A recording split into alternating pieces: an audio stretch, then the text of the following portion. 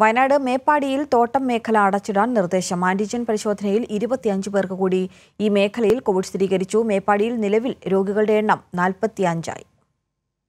രോഗപ്രതിരോധത്തിന്റെ ഭാഗമായി പഞ്ചായത്ത് പൂർണമായും കണ്ടെയ്ൻമെന്റ് സോണായി കലക്ടർ പ്രഖ്യാപിച്ചിട്ടുണ്ട്. കടുത്ത നിയന്ത്രണങ്ങളാണ് പ്രദേശത്ത്. പഞ്ചായത്ത് പരിധിയിലെ എസ്റ്റേറ്റുകളെല്ലാം അടച്ചിടാൻ നിർദ്ദേശം നൽകി. മൂന്ന് പലചരക്ക് കടകൾ രണ്ട് പച്ചക്കറി കടകൾ ഒരു പെട്രോൾ പമ്പ് മെഡിക്കൽ ഷോപ്പുകൾ എന്നിവ മാത്രമേ തുറക്കാൻ അനുമതിയുള്ളൂ.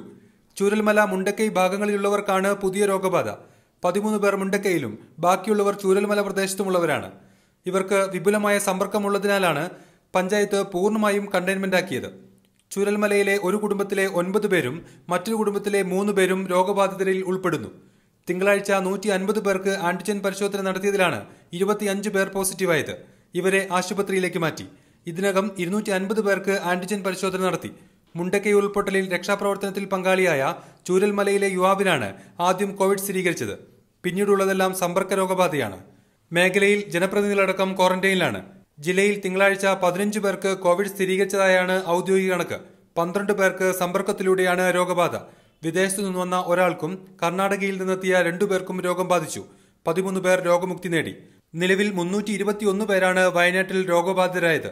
മുന്നൂറ്റിയെട്ട് പേർ ജില്ലയിലും പതിമൂന്ന് പേർ ഇതര ജില്ലകളിലും ചികിത്സയിൽ കഴിയുന്നു. കൈരളി ന്യൂസ് വയനാട്.